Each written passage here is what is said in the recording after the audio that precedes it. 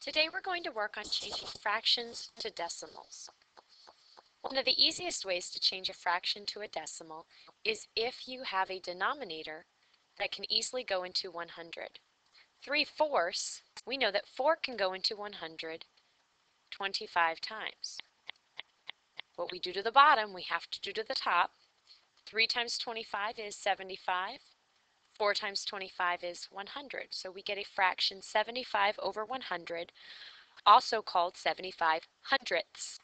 We can write 75 hundredths as a decimal, 0 0.75, 75 hundredths, 0 0.75. Now if you have a fraction with a denominator that does not go evenly into 100, we have to divide. The numerator always goes inside the box. The denominator goes outside. 8 does not go into 5, so we have to add our decimal point and our 0. 8 goes into 50 6 times. 6 times 8 is 48. 50 minus 48 is 2. Add another 0 and bring it down. 8 goes into 20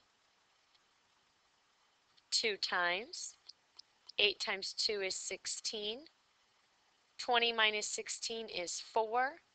Add another 0. Bring it down. 8 goes into 40 5 times. 8 times 5 is 40. And we have no remainder. So our decimal would be 625 thousandths.